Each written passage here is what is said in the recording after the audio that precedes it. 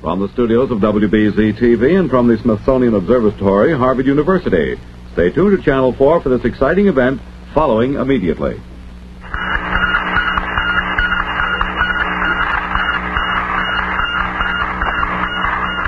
This is Jack Chase. This morning at 6:17 a.m. Eastern Daylight Time, the Westinghouse Broadcasting Company filmed the first motion pictures of the Russian satellite. You are about to witness this historic event. You're not going to see a close-up of the object with antennae sticking out. This would be, of course, impossible. You're going to see a track of this object as it goes through our heavens some 18,000 or so miles per hour.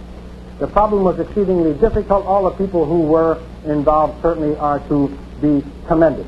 Now, here is a photograph released by the Soviets of the satellite, and this is the track of what you will see in the lower half of your television screen. So be sure that you watch very, very carefully.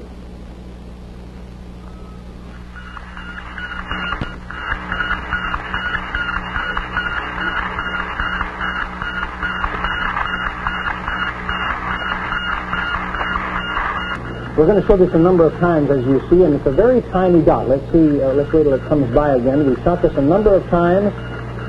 There certainly is the track of an object moving through the heavens. There it is. I see it. About in the center of the screen in the lower third. You got on we, side we moved the the camera. camera. Camera was moved there. Now there. you start over again. Now we start over again, and the stars are in the background. This is a photograph of a monitor screen. There There's the goes. Across object. the bottom. Now, that- Across that's the bottom. About uh, in the middle of the screen now, I would say. Yeah, it is wonderful, isn't it? It is moving, are we correct, about 18,000 miles per hour? That's correct, yeah.